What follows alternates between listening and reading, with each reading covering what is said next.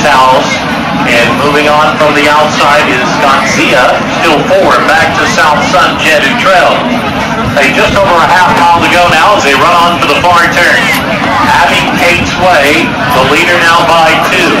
Abby Kate's Way on front by two, the outside Entrepreneur two is racing next, joined by Pastor Peace Pulpit.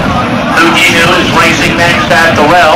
Corporate Mike follows in stride the outside, follows in stride the outside. Tio picks up the running now as they take it into the far turn, midway around the turn. Abby Kate's Way with the lead, but now joined by Pastor Peace Pulpit right there on the outside, just loping up to grab the lead. Fujinu is racing third. Corporate